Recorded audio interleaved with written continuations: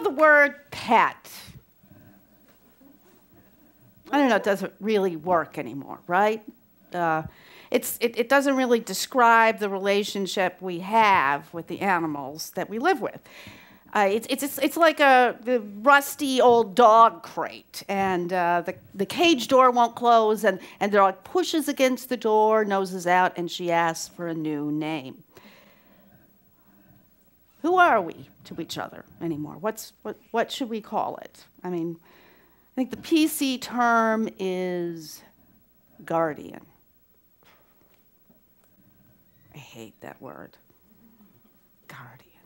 I mean, to me, it's like the word partner.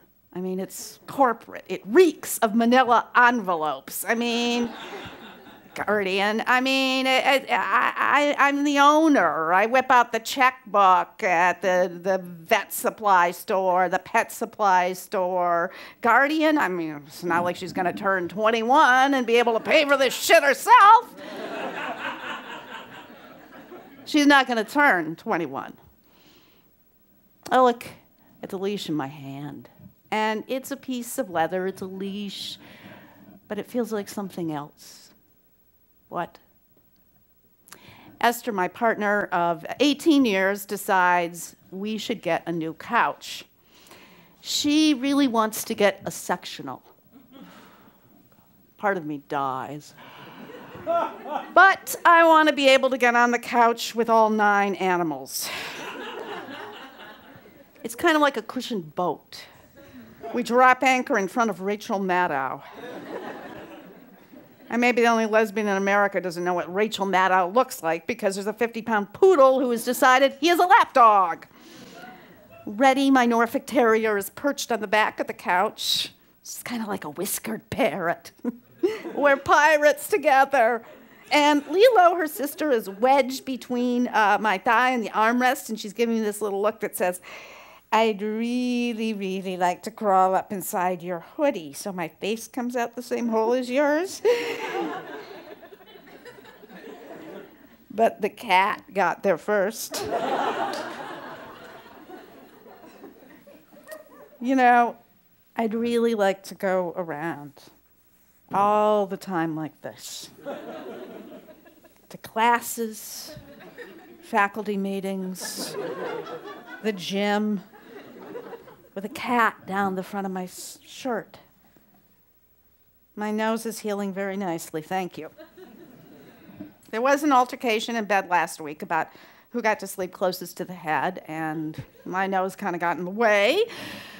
Makeup just makes it worse, so I find myself cracking Charlie Manson jokes in class, and I consider the Norfolk Terrier breed standard and I decide that it applies to owners as well as their dogs. And the breed standard says honorable scars from fair wear and tear shall not count against. Unquote. Esther is also carpeted with poodles and a little dollop of terrier. We are close, but not actually touching. Presto, her black standard poodle, is lying between us, touching us both. Occasionally, Presto growls at one of the other dogs or even at us, suggesting perhaps that it is his couch and maybe we want to sit on the floor. Esther doesn't buy this. She collars him and she puts him into one of the five dog crates lining our living room. Our name for this time is family time, but it's just our word for it. I mean, Esther tells me to be careful about what I say to other people, about the dogs, to especially watch out for the pet people. I mean, pet people are people who have pets but are always reminding you, oh, he's just a dog, he's just a cat. I am not a pet person, okay? I am a dog person. And gradually, the people without any animals have faded away entirely from my life.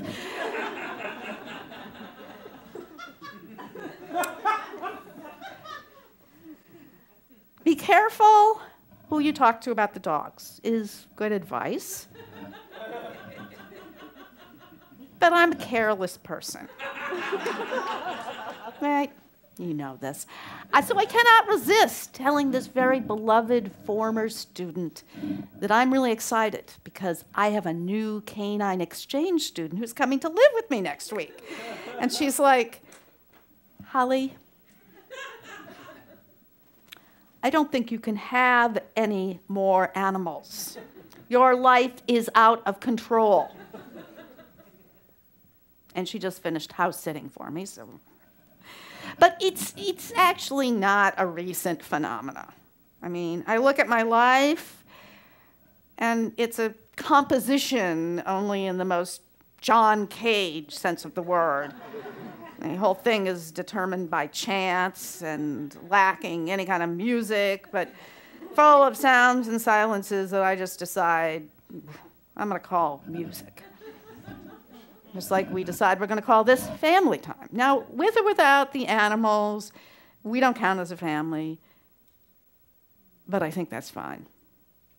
Because the word family makes me very nervous. but for the moment, we are held together by the black crescent of a poodle. Now, when I was growing up in this state, a little bit farther north, in the 60s and the 70s, there were no really, there were big agricultural farms around, but if you wanted to see what looked like an old fashioned farm, even in that time with animals and that sort of stuff, you went to some place they called a farm. It was a petting zoo and it was this sad museum of the old timey. You know, it was like a place where they made candles and shit. And the whole time you're there, you just you're thinking how terrible it is to live on a farm. And what if the bus leaves without you and leaves you on the farm?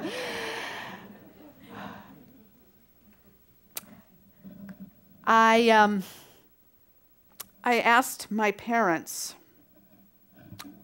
for a horse Anybody else ask their parents for a horse? And um, they gave me a piano, which my mother pointed out was the musical instrument that most resembled a horse.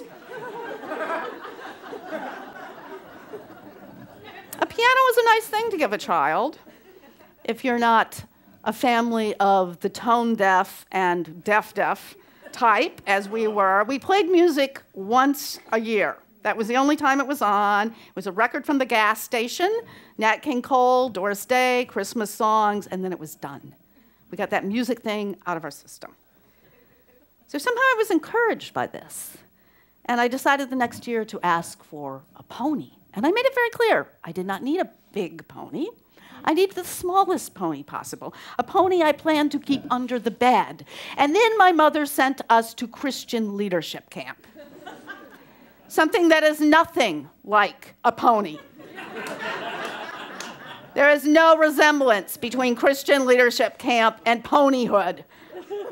They even sent my poor sister who had figured out don't ever ask them for anything you know, when I was a kid, you don't really know. I thought, you know, why can't I have a pony? Why can't I have a horse? I mean, we seemed to have enough money, but we were just middle class, and I'll tell you, a pony is a lot. A horse is a lot more than a piano. A horse is a hell of a lot more demanding than Jesus.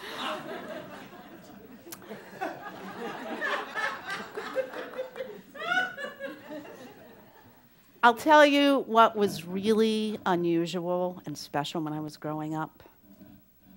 Oh my God, it was so rare, such a rare treat to see a deer. Oh my God, you, you, you, saved up for it on a warm July night, and all of us crowded in the Buick with, our, with a quiet that was not typical. It was not our usual Hughes quiet with that faint odor of disappointment. No. This was a Sunday best kind of quiet, one we intended to use at church, but my family spent all their prayers on deer. when we spotted one, we'd look for the others. Because even if you don't see them, deer are never alone. I never saw a bear. I knew people who knew people who saw bears, but I never saw a bear.